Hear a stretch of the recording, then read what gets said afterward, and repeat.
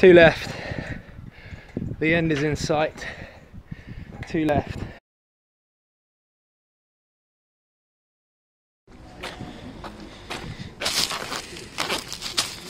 Double checking first or Beautiful. No, no, no, it's all good. Yep, happy to get that off.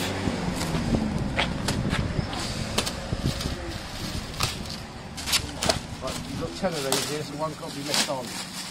All right, mate. Yeah, that's all right. They're all the same, aren't Yeah, they're all they're all the same. Yeah, brilliant. Silicone-based K-Rend. Yeah, perfect. In white. Excellent. So ten bags of that, and the pink mesh. Excellent. One of the bags snagged on the pallet as it's coming out and ripped, so I'll use that one first. But that's fine. But look how heavy this is, right? 20 kilos. It's about to split a bag, and I've paid 5p for that bag, so it's not a weak bag, but these things are heavy. And now I've got to get it all the way up there. And none of the other boys are here, so 200 kilos up that ladder. I'm to take it slow, not going to rush. I've already put the pink mesh up there. This is to be pretty, uh, pretty tiring. Okay, I'm pretty knackered. These are heavy, heavy bags when you're lifting them up and down. However many meters this is high. They're heavy, they're really heavy. No two ways about it. So, if you want a really good instructional video on how to do this properly, head over to Stu Compton's channel. Best Bricky, Northern lad, absolute pucker, does a really quality job. Him and his dad often, but it's his channel. They do a really, really good job and they've done a few videos on how to do K-Rend, scratch coat and all that. So head over to their channel, I'll leave a link in the description so you can see that. Um, I'll show you what I do, but I'm learning from him, so you might as well go to the source, you know. Two more, two more left. Managed to get it all up here. 10 bags. That's gonna be covering all of this side here. Amount of puff. Didn't take a break to get them up there, I promise, promise. Square meter per bag. Now the way you figure out a triangle is basic maths, okay? So you take the base, and whatever the base is, you divide it in two. Half the length of the base, and then you multiply that number by the height. And that will give you the amount of square meters, or whatever, whatever unit you measure in. Do it in inches. I would suggest doing it in centimeters, because most things are done in square meterage. And obviously centimeters and meters are friends. So go along, measure your, measure your length. In this case, my length is eight meters. So I go four meters and then I go up three meters. Now, for those of you that are the maths magicians, four times three is 12. So I've got to do 12 meters here. That's how you work out the area of a triangle to then figure out how much you need of materials. In this case, K-Rend. I've only got 10 square meters, give or take. Now, the bottom section here is not going to have as much render on it. I'm going to put a board up and square off probably the best part of a meter and a half or two meters squared at the bottom there. Also, none of this is going to be seen after I've done it, so it's a bit of a freebie. It's not a freebie, I've paid for the materials, but it's a practice run for when I then come to do the outside, and if I do a really terrible job of it, I know that I got to pay a professional. If I don't do that bad a job, then I can save myself quite a bit of money by doing it myself and just buying the materials and I take the time to do it. It's this age-old toss-up, right? Do you spend the money getting someone else to do it and get it done quicker and definitely done better if they're a professional? Or do you save the money yourself and do the work and you run the risk of it not being quite as good but you haven't paid someone to do it? Right, top tip, I'm just in the house, in the kitchen. You can see why we're doing a renovation to this place. I mean, it's just old and miserable. I'll give you a proper tour around uh, at another time. What I wanted to do is just give you a super top tip. Earlier in the video, you'll have seen that I bought a whole load of K-Rend and that I needed this stuff. I'm gonna sit down.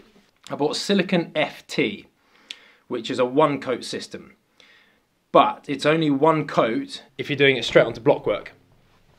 So you do your block work and you can just then silicon straight on uh, Silicone FT, whatever color you want, white, ivory, whatever.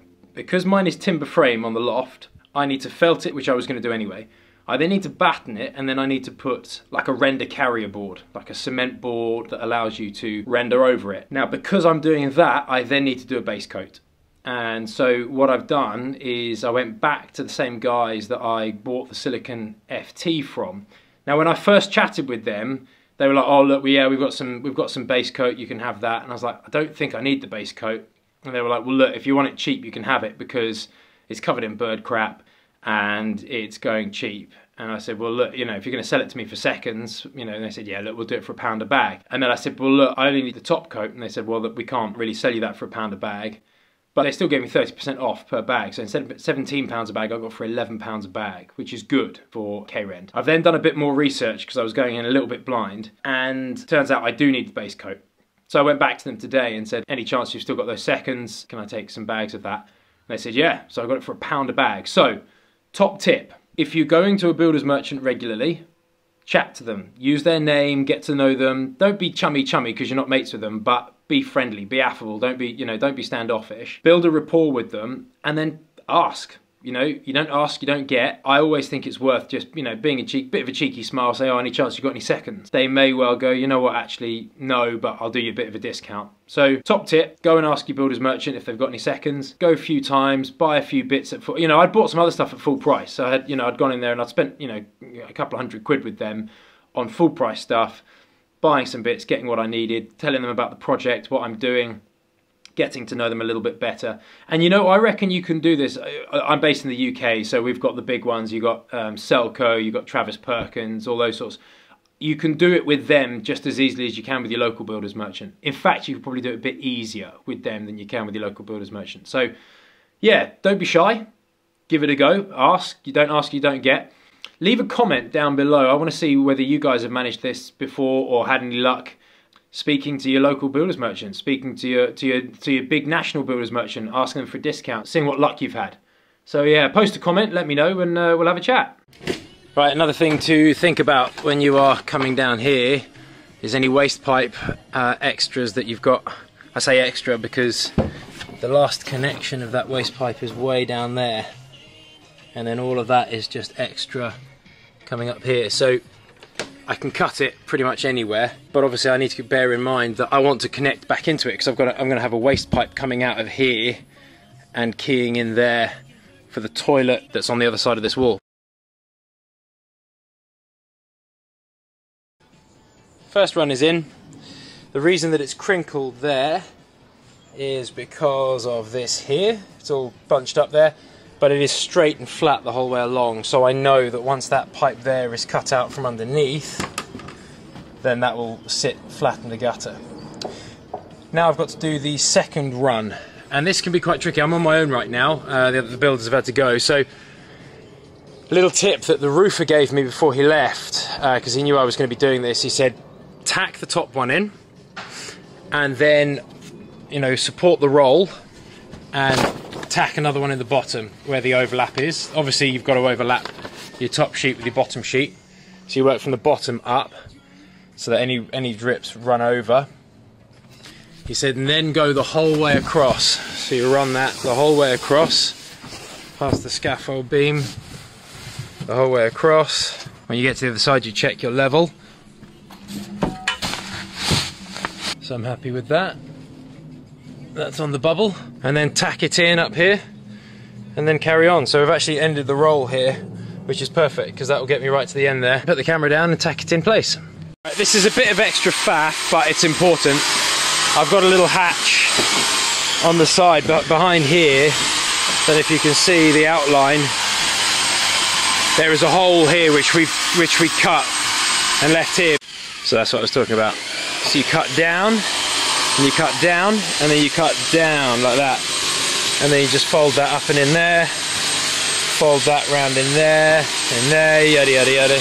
You get the picture. Obviously then I've got access to bits in the loft.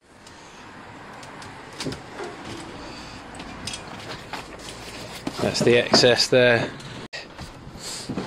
I can put this back in like that. Job's a good one once the side extension is done to get access to the roof space that will be here once we've built above the garage and put this the hipped roof that will come in here. So all of this ultimately will get covered. Like I've said, it'll all get covered. But I need to weatherproof it and watertight it now because I don't know how long it'll take me to get to do that second phase. Right, second line in. Just got to cover a little bit. That was the end of the roll. Uh, so I'll need to just, I can, I can fill it in with a bit of offcut, that's fine. It's not the end of the world, but uh, even if I didn't. The other thing I completely forgot about, which I've seen in my workshop and remembered, is this phenomenal tool. Little thing here, staples straight in. So you got there, you want to fix it there. Bosh. Makes it so much quicker. So uh, this cost me, I think, £10 from Aldi. It came with four packs of staples. It's definitely worth having a look at one of these. I think it's called a bump stapler. Really handy little piece of kit. Okay, so